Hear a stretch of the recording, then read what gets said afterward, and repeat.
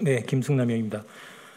어, 회장님, 예, 정책 질의 한 두 개만 제가 어, 제안 드리고자 합니다.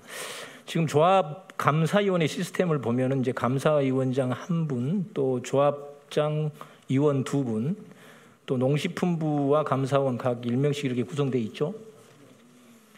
이제 각종 사고 이런 것들이 끊이지 않는 상황에서 농협이 좀 제 식구 봐주기식 감사를 하지 않느냐 이제 이런 외부의 시각도 있어요. 이런 비판도 일고 있는데 이거 좀 제대로 개혁을 하려면은 외부 위원 확대가 필요하지 않나요?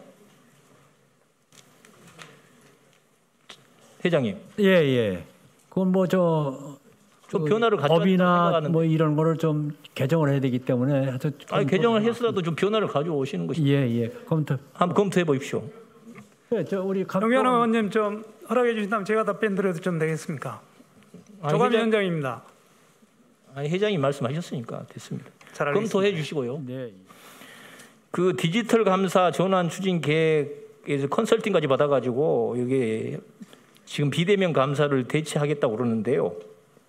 이게 지금 데이터 설계 과정에서 누락되면은 사각지대가 발생하고요. 이를 이용해서 또 비사고가 발생할 수 있어요. 여기에 대한 그 대책, 보완 대책 이것도 철저하게 마련을 해야 된다고 생각하는데 어떻게 생각하십니까, 회장님? 예, 그 지금 뭐 조합감사위원회에서 적극적으로 그 디지털 관련된 거 지금 그 저 뭐야 마련 중에 있습니다. 저. 아니 이게 비대면 시스템으로 해서 디지털 감사를 한다고 그랬는데 이거 네. 이것도 사각지대가 있어요. 아니 그러니까 그 보완을 지금 보완을 잘 철저히 예. 하셔가지고 네, 네. 줄을 수 있도록 네, 비사고가 네, 네. 이렇게 해주시고요. 지금 도, 도시농협 하고 이제 지역 농협 이 차이가 많습니다. 도시 농협은 뭐 여러 의원들께서 지적하셨습니다만은 네, 네. 신용 사업 수익은 과도하게 발생하고 네. 경제 사업 및 농업인 지원 사업 이런 것들은 미비합니다. 지금 서울 같은 경우에 경제 사업 매출 2조 5천억인데 쌀, 쌀 판매 비중은 1.7%밖에 안 돼요.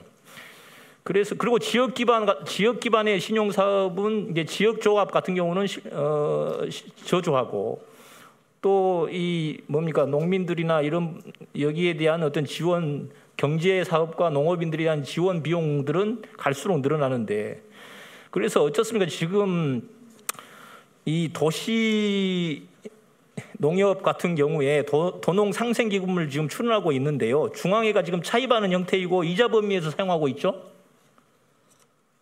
아이 저기 그 도시농협에서 스스로 아니, 상생 기금 마련해서 하고 있는데 네네. 이자 범위 내에서 허울만 좋게 쓰고 있어요. 그렇지 않습니까? 농촌- 그래서 네네. 기 도시 농축협들이 그동안에 농협이라는 브랜드는 다 알고 이, 지금 영업을 해 왔지 않습니까? 네네. 그래서 이 신용 사업의 어떤 그 중심으로서 그 큰 그동안의 수익을 얻었는데 네네. 실제로 이게 경제지주나 금융지주에서 이 명칭 사용을 내듯이 네. 도시농협도 좀 내야 된다고 생각을 합니다. 그렇지 않습니까? 회장님? 어, 그거는 뭐 이 전국위로 봤을 때 그거 좀 그래서 이 법적으로 그 조합 내부에서 선순환 구조가 이루, 이루 어질 게 아니고 농협 전체가 선순환 구조로서 네네. 도시에서 벌어들인 소 이- 이익이 도시 농업인들이나 아니, 농, 농촌의 농업인들 농업인들이나 이거 조합에 갈 수 있도록 이렇게 해야 된다는 거죠. 예, 그거는 뭐 지금 그 이거 회장님이 잘 모르십니까? 다른 분이 누가 답변하면 경제 대표께서 한번 해주실래요? 제가 말씀한 내용 부회장님이 말씀. 네. 에, 지금 현재 그 명칭 도시농협 사용료 도시 도시농협 예, 예. 지금 안 내고 있지 않습니까? 예, 예. 그걸 내자고 하는 하는 그 제안을 드리는 거예요, 제가. 예, 아마 예, 상당히 조금 이제 민감할 수는 있습니다만 저희들이 도시농협 역할에 대해서 또 많은 고민을 하고 있고요. 아니 또그 벌어들이는 수익이 예. 농협 브랜드를 이용해서 많지 않습니까? 예, 예. 그러면 그것을 농협 농협을 위해서 아니면 농, 그 원래 농협법의 취지에 맞게 이 저 이익을 좀 이렇게 분배할 수 있도록 가야 되는 거 아니에요? 네, 저 도시농협 뭐그 기업 활성화 방안 중에 하나는 될 수 있다고 생각을 하고요. 여러 가지 방안에 대해서 검토를 하도록 하겠습니다. 그 지금 현재 명칭 사용료를 내고 있는 데가 경제지주의 금융사, 그 다음에 또 어디입니까?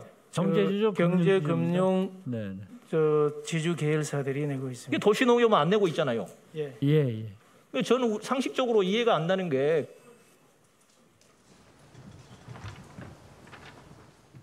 상식적으로 이해가 안 되는 게 도시농협에서는 명칭 사용료를 안 내고 이 뭡니까 도농 상생기금을 출연하고 있는 이 정도의 어떤 그 음, 농촌의 조합이나 농민들을 위해서 쓰고 있는데 이것은 이자 이자 범위 내에서 쓰고 있잖아요. 그렇기 때문에 액수는 몇억 지원하고 있지만은 실제로 지원되는 것은 별로 없거든요. 그렇기 때문에 도시농협에서 명칭 사용료 브랜드를 좀 내서 농촌에 지금 어려움을 겪고 있는 조합들 또 농민들을 위해서 쓰자는 거죠. 이, 이런 좀 그 변화를 가져야 된다고 생각을 해요. 동의하십니까? 좀 논의를 해주세요. 네, 역할 정대에 대해서는 여러 가지 방안을 고민해야 된다고 생각하고 있고요. 네, 고민하겠습니다. 마치겠습니다. 네, 김성남 의원님 수고하셨습니다. 어, 아, 좀 전에 감사위원회 측에서인가요? 뭐 하실 말씀이 있었나요? 어, 허락을 해주시면 좀 답변 그러게. 좀 올리겠습니다. 아마 그, 시간 때문에 우리 예, 예. 김성남 의원께서 시간 때문에 다 못 들은 것 같은데 혹시 어, 보충해서 하실 저희들이. 그 이제 농협법 개정을 해가지고요. 그 조합감사위원 위원- 구성을요. 현재 외부 전문가 두 명을 하고 조합장 두 분인데요. 앞으로 향후에는 그 외부 전문가로 네 명으로 위원을 선임하도록 그렇게 법이 개정이 돼 있습니다. 그리 이제 향후에는 그렇게 하도록 하겠습니다. 네. 이상입니다. 네, 네, 그렇게 잘 해주십시오. 그러면 어, 2차 질의 마지막 순서로 이양수 위원님 질의해 주시기 바랍니다.